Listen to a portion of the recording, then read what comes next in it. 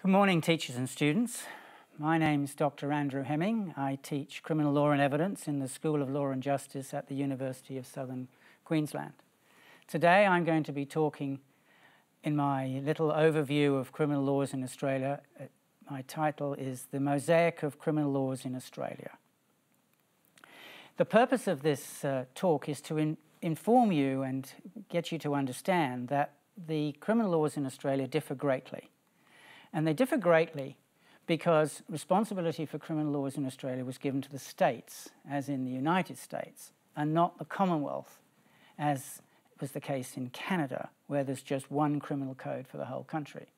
So if you were to be um, charged in Canada with a criminal offence, it wouldn't matter whether it took place in Vancouver or in, on the eastern uh, seaboard in um, Toronto or Montreal because they have the one criminal jurisdiction.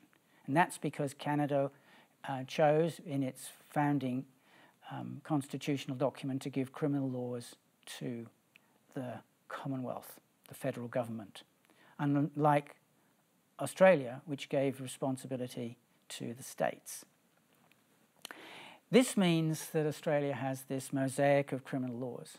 And as you can see from the slide, I've bro broken this um, mosaic down into three regimes. Very approximate, but it serves for the purposes of analysis. We have what are euphemistically described as the common law states of New South Wales, Victoria, and South Australia. So they don't just rely on the common law, they do have statutes. In the case of New South Wales and Victoria, they're referred to as Crimes Acts. Then you've got what are called the Griffith Codes, after Sir Samuel Griffith, the states of Queensland, West Australia, and Tasmania. And then finally, we have the Commonwealth Code, which was um, produced in 1995 in an attempt to get some degree of uniformity, but unfortunately, only the territories and the ACT, that's uh, Australian Capital Territory and the Northern Territory, um, chose to follow. So that's the broad um, brush mosaic of criminal laws in Australia.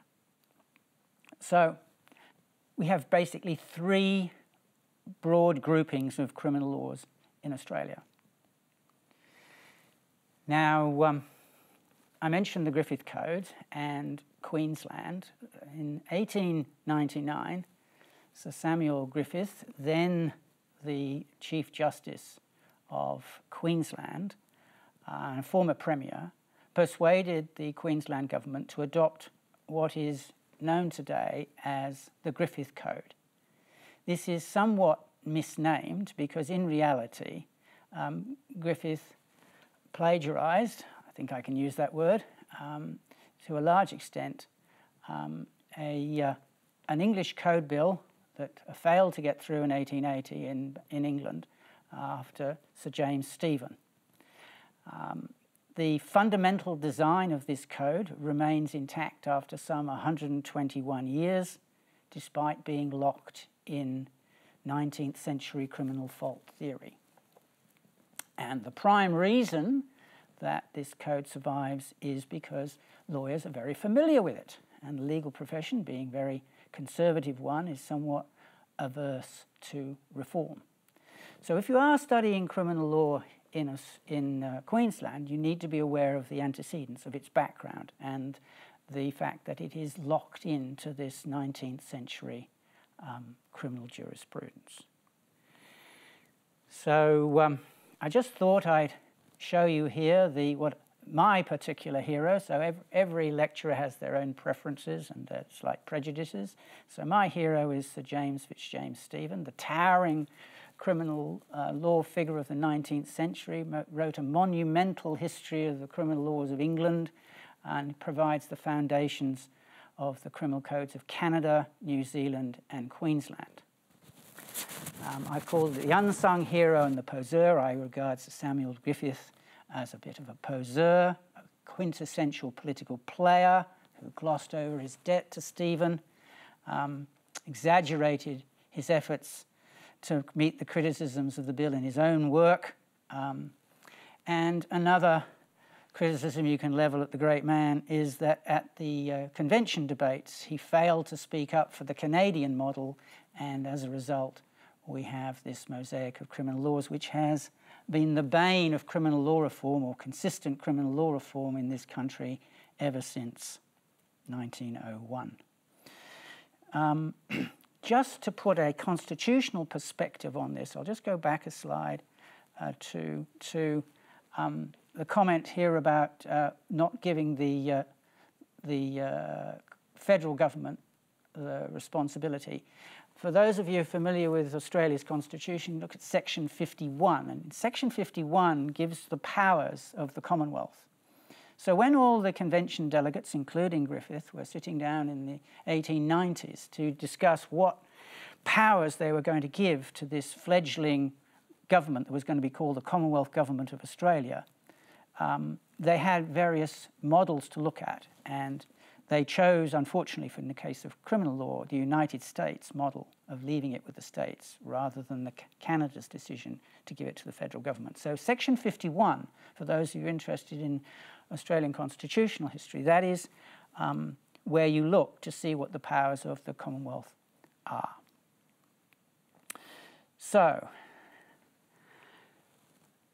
it's important for you to understand that the technical background to any offence is determined by the architecture of the code or the Crimes Act that you're dealing with.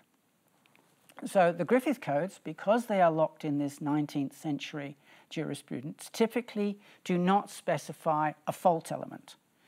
A fault element such as intention or knowledge or recklessness or negligence. Um, so let us look at a typical example of a Griffith Code offence, the crime of rape. Um, it says, section 349, subsection 1, basically says any person who rapes another is guilty of a crime. So there's no fault element spelled there, spelled out there. Um, it's really one of consent. So the defendant in a rape trial here in Queensland relies on the defence of mistaken fact. It's effectively rape in Queensland is effectively a crime of strict liability. Contrast the uh, Queensland offence of rape with that of the offence of rape in the Northern Territory. Now, the Northern Territory has chosen to follow the Commonwealth Criminal Code's architecture and specifies a fault element for every crime. And you can see here that in the Northern Territory uh, criminal code for the offence of rape, you see without the other person's consent and knowing about or being reckless as to the lack of consent. And then they go on in subsection 4a to define reckless as including not giving any thought as to whether or not the other person is consenting. So if the defendant's uh, defense is, well, I never thought to ask, you can see that there's a very different likely outcome in Northern Territory to that of Queensland, where there is no fault element specified.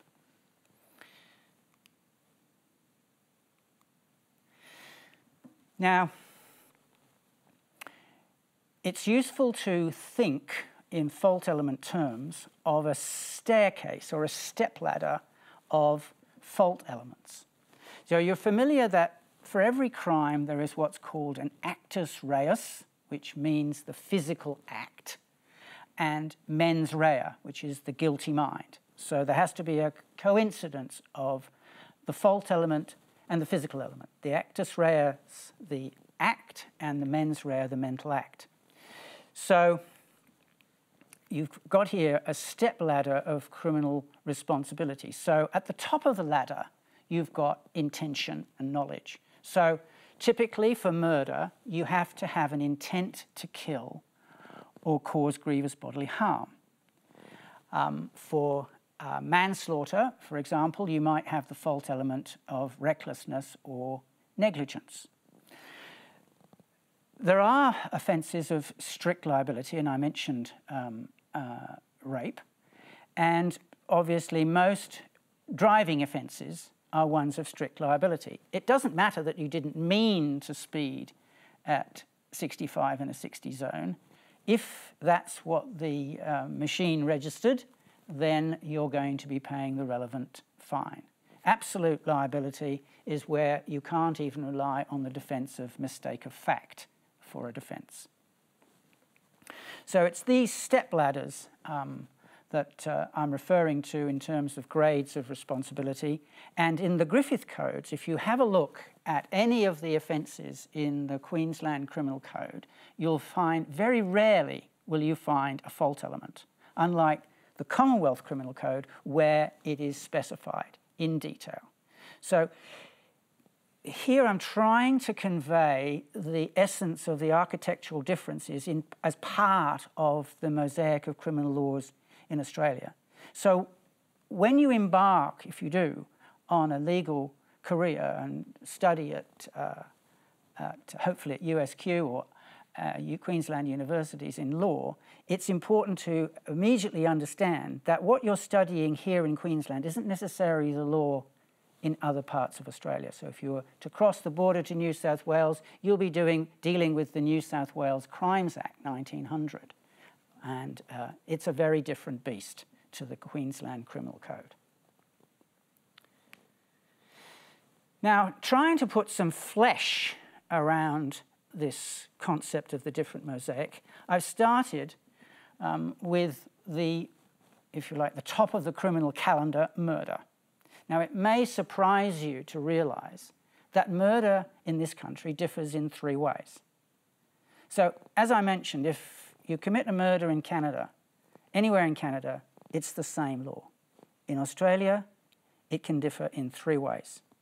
It can differ in terms of the fault element, which I've just tried to explain. It can differ in the definition of grievous bodily harm, and it can differ in re relation to the availability of partial defences to murder, of provocation and diminished responsibility. Some jurisdictions in Australia, Queensland is one of them, has both of these defences, provocation and diminished responsibility, where if the defence is successful, murder is reduced to manslaughter. Other jurisdictions, like Victoria, have neither. So you can see immediately, perhaps to your surprise, that um, such an important uh, crime as, uh, as murder differs in such a fundamental way. And this gets back to the mosaic that is the theme of my talk today. So it was only very recently uh, that Queensland changed the law of murder to match that of New South Wales. Up until um, uh, 2020, just very recently, Section 302 of the Queensland Criminal Code, which dealt with murder, stopped at 1A, that effectively the only fault element was that of intention. So if I go back to the, the ladder, you can see that for Queensland, intention was the relevant fault element. Very unusual for the Queensland Criminal Code to actually specify a fault element, but there it was, intention, solely intention. New South Wales, on the other hand, has long had an alternative fault element of reckless indifference to human life. So if we go back to the fault, to the step ladder, you can see that's one step down on the ladder. So at last, after 100 odd years, we have at least a match between Queensland and New South Wales as to the fault element for murder. They both now, the Crown has to prove either intention or a reckless indifference to human life.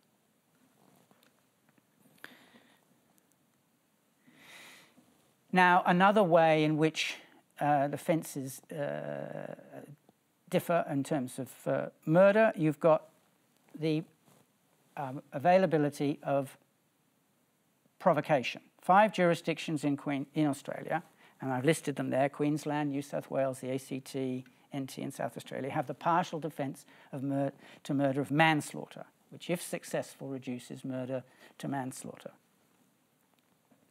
Um, and I've mentioned earlier that even within these defences, they differ. Now, in Queensland, the um, legal onus is on the defendant. In, if you're running a a partial defence to murder or provocation, the legal onus is on the defendant. You find that in section 304, subsection 9.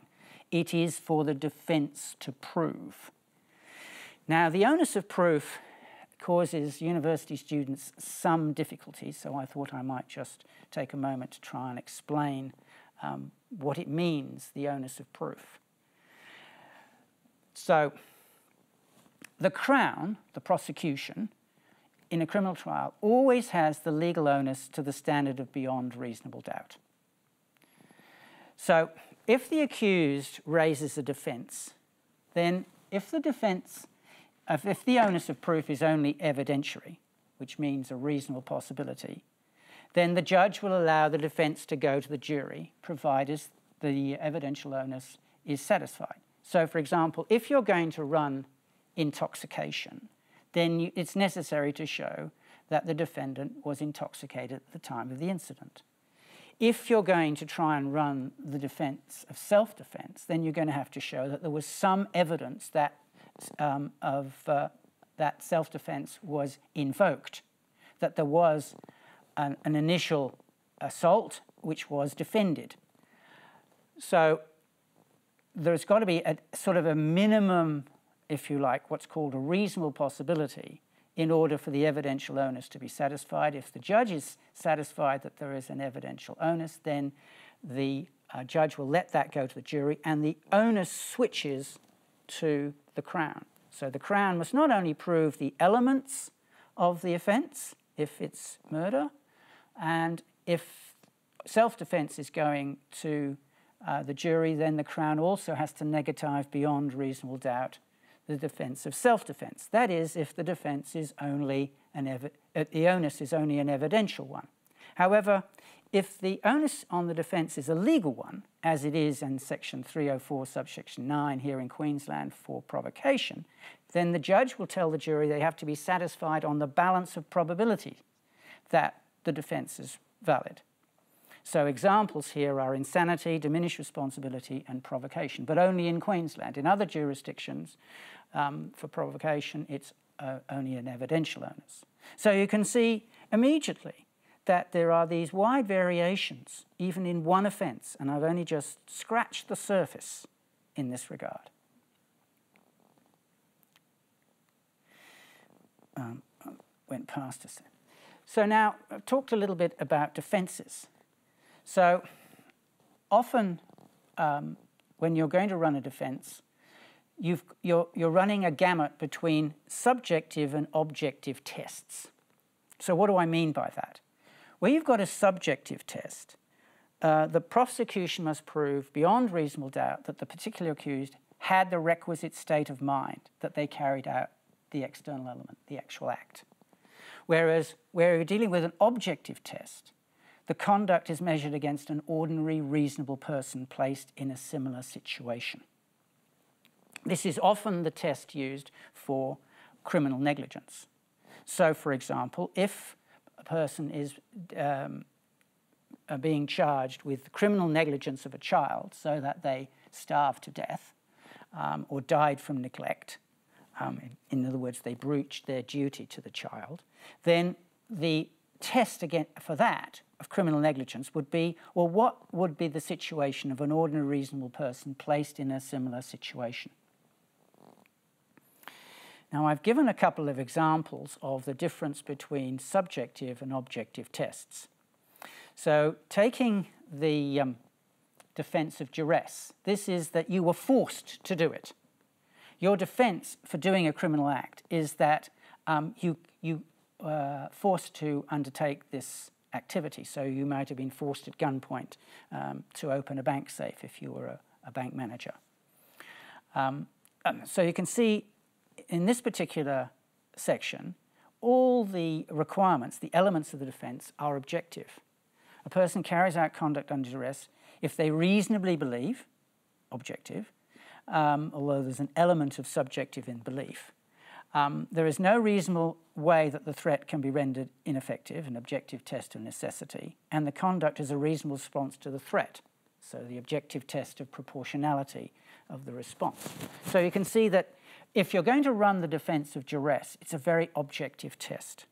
Contrast that with self defense. So a person carries out conduct in self defense if the person believes, subjective, the conduct is necessary. So Um, that's a very much how you responded to the threat. And then secondly, um, the conduct of a reason is a reasonable response, objective, in the circumstances as they perceive them, subjective. So whenever you're looking at a defense, whether it be here, self-defense, or um, duress, there is always a combination of subjective and objective tests.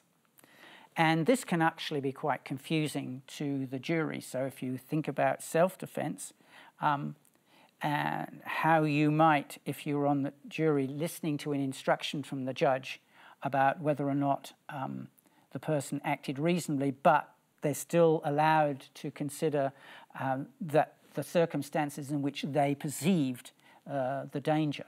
You can see that it's open to a wide degree of interpretation.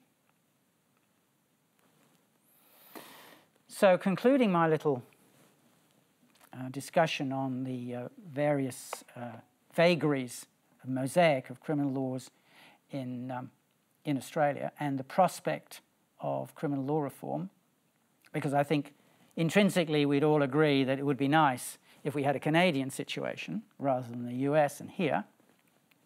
In 1995, the Commonwealth attempted to deal with all this inconsistency, the fact that criminal laws had been placed in the Constitution it, with the states. They tried manfully, I suppose, or personally, um, um, to uh, introduce a criminal code, the Criminal Code Commonwealth, based on the US Penal Code as an attempt that hopefully the six states and the two territories would sign up and we would suddenly have um, a uniform criminal jurisdiction in Australia. However, only the ACT and the NT signed up. The six states have ignored it. So um, we continue to have this mosaic because we're a federation and constitutional responsibility for criminal laws is with the states, which makes consistent criminal law reform very difficult. So I'd just like to leave you with that thought that um, trying to move things forward where you've got so many different players with different views and all thinking that their particular criminal code or Crimes Act is the best, it makes consistent criminal law reform very difficult.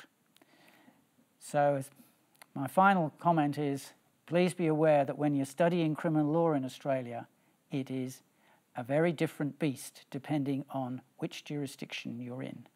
So thank you for listening and good morning.